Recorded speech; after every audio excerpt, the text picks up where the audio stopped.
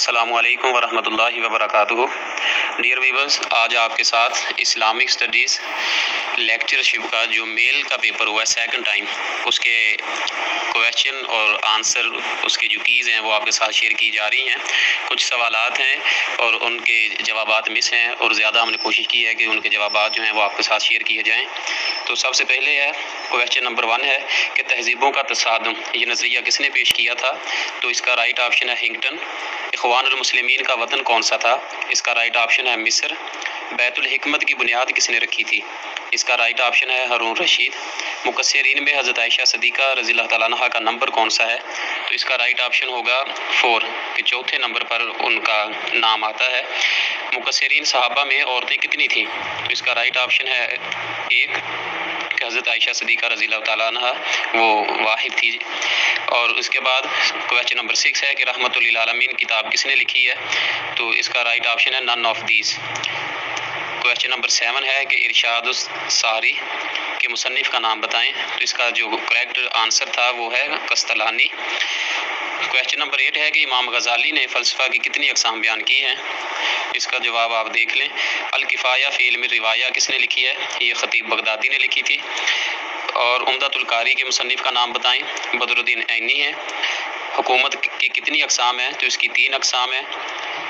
तर्जुमानकुरान के सहाबी का लकब है, हज़रत अब्दुल्ला इबन अब्बास का असूल दावत। ये बुक किन्होंने लिखी है, ये अब्दुल करीम जैदान ने लिखी। उसके बाद है कि फ़ला तकुल्लाफ़िम वला तनहरुमा वकुल्लाहुमा कौलन करीमा। ये आयत क्या बनेगी? इसका है कि इशारतुलनस और मुफसर के मुकाबले में क्या आता है? मुजमल। और तलाक के किनाया कि जो किसी किनाया के तौर पर किसी ऐसे अल्फाज से तलाक दी जाए तो उसको तलाक के किनाया कहते हैं। हजतुल्लाबालिगा शाह वली ने लिखी है मनसूख आयात जो हैं शाह वली के नज़दीक वो पाँच हैं। मुवज़ीकुरान ये आप देख लें इसका ऑप्शन कौन सा होगा। आ, उसके बाद है पहला तर्जमा बरसगीर में सिंधी ज़ुबान में हुआ था। उसके बाद है कि हसरत का असल हसरत मोहानी का असल नाम क्या था? रमज़ान में, नमाजी मुहर्रम में सिपाही, ये इसका आएगा चलाक लोग। और हारून रशीद ने जो तजर्बागार कायम की थी, उसका नाम क्या था? इसमें से शायद नान आएगा। महाभारत का मौजू क्या था? देवताओं की तारीफ़। और वेदों की अकसाम कितनी हैं? चार अकसाम है वेदों की। और इसके बाद है क्वेश्चन नंबर है हमारे पास ट्वेंटी सिक्स कि गुरु ग्रंथ की ज़ुबान क्या थी? तो उसकी जो पहली ज़ुबान थी वो गुरु गुरमुखी थी। नरवान किस अतलाह है? ये बुद्ध मत की अतलाह है। ईरानी किसकी पूजा करते थे? तो ये नन ऑफ़ दीज है, इसलिए कि वो आग की पूजा करते थे। अरब किस मज़हब को मानते थे? कि अकीदा तोहीद उनमें पाया जाता था, इस्लाम से कबल तो वो दीन हनीफ था। मजमाफ़िल इस्लामी। ये किस जगह वाक़ है? ये क्वेश्चन पूछा गया। आया सूफिया, कहाँ वाक़ है? ये तुर्की में इस्तंबुल, इसका राइट ऑप्शन होगा। मजमूल फ़िक किसकी किताब है? ये इमाम जैद बिन अली ने लिखी है। बुखारी का असल नाम क्या है? अलजाम, अलमुसनद सही अलमुख्तसर, ये इसका असल नाम था। और सीरत का लफ्ज़ जो है सबसे पहले किसने इस्तेमाल किया? आर्य समाज का बानी, ये दयानत सरस्वती है। अबुल हसन की किताब कौन सी थी?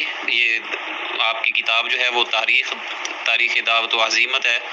हरूफ जारा की तादाद पूछी थी। ये सत्रह है।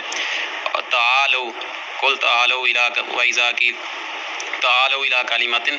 तो अमर का सीगा है तालो। बाबा रियाजियात कौन है? नान ऑफ़ इसमें से कोई भी नहीं था। और शेखैन की अतलाह किसके लिए इस्तेमाल की गई? तो ये तीनों ऑप्शन दुरुस्त होंगे। तो आल उसका आएगा सहाबी के लिए मुलाकात शर्त है। मुलाकात इसका राइट ऑप्शन है। मुस्ंद हदीस मुस्ंद उसको कहते हैं कि जो सहाबा की तरतीब से लिखी जाए, बुक तो उसको मुस्ंद कहते हैं।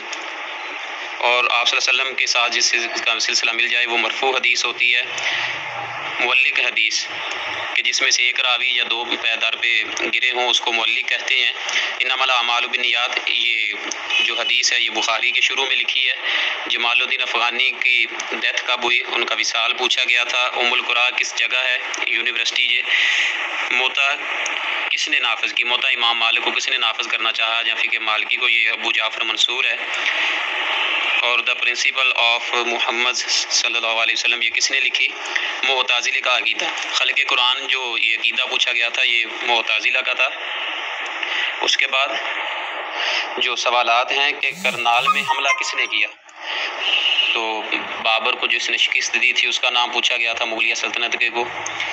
शिबली नुमानी ने कौन से तीन हिस्से लिखे थे? पहले तीन हिस्से लिखे थे, उसके बाद सलेमान नदवी ने इसको मुकम्मल किया था। ज़ियाउल नबी किन्होंने लिखी? ये पीर करम शाह साहब ने लिखी थी। किताबुल अमवाल, वो बैदुल्ला कासिम ने लिखी है। दराइब कि हुकूमत जो टैक्स वसूल करती है, कोई हंगामी सूरत हाल में तो उसको दराइब कहती हैं। तो उसके बाद है कि खराज किस पर लाजिम है? तो ये शायद दोनों का होगा कि मुसलमान और जो गैर मुस्लिम हैं उन दोनों पर। दीवानबरीद का महकमा किसने कायम किया? ये हज़रत उमर रज़ी तु हैं। सबसे ज़्यादा हुकूमत, जो ज़्यादा लंबी हुकूमत थी, वो किसने की? ये हज़रत उस्मान गनी रज़ी तु थे। सिलसिला चिश्तिया के बानी कौन है? हिंदुस्तान में मोइनुद्दीन चिश्ती अजमेरी इसका राइट ऑप्शन होगा। बरसगीर में तसवुफ़ की बुनियाद। तो तसवुफ़ की बुनियाद जो है वो तकरीबन दस हिजरी उसका राइट ऑप्शन बनता है कि महमूद गजनवी के दौर में दस हिजरी में हजूर दादा साहब तशरीफ़ लाए थे। उसके बाद है कि रहीकुल मखतूम की ज़ुबान में लिखी गई। ये अरबी और उर्दू दोनों में लिखी गई थी। वहदत शहूद का नज़रिया किसने पेश किया? ये मुजद लफसानी रहमा ने पेश किया था। जिहाद का माना बज़लजहद इसका राइट ऑप्शन था। बदर कितनी दूर है? मदीना से तो ये अस्सी मील है, या अस्सी किलोमीटर। इसका राइट ऑप्शन है। गजवा बन मुस्तलिक में आपके साथ कौन सी आपकी बीवी थी, जोजा मुबारक, ताहिरा? तो ये हज़रत आयशा सदीक़ा रज़ी तह थी। खालिद बिन वलीद की तलवारें किस जंग में टूटी थी? नौ तलवारें तो ये सरिया मोता के मौका पर नौ तलवारें टूटी थी। सूर्य मरियम की तलावत किसने की? तो इसका राइट ऑप्शन है हज़रत जाफ़र तैयार, के नजाशी के दरबार में जाफ़र तैयार ने सूर्य मरियम की तलावत की। थी। जो शहादत इनकी सहाबी का लकब है, ये खुजैमा बिन साबित का लकब है। राइट ऑप्शन इसका ये है कि खुजैमा उसवा हसना, किसका कुरान में आप के अलावा बयान हुआ है तो ये हज़रत इब्राहीम सलाम है। फ़ातह अंदुलस किसका लकब है? ये तारक बिन ज़ियाद को कहा जाता है, और ईमान की शाखें कितनी हैं? तीस, चालीस, पचास तो इसका होगा कि नन ऑफ़ दीस तो ये दोस्तों कुछ क्वेश्चन है, और उसके आंसर जो आपके साथ शेयर किए हैं। तो इसको, इसके अलावा जो स्किप किए हैं हमने, उसके जो जवाब हैं वो नहीं मिल सके। जो सवाल रहते हैं, उसमें से तकरीबन सात आठ तो वो आप कमेंट्स बॉक्स में उसे शेयर कर सकते हैं। जजाकल्ला खैरन।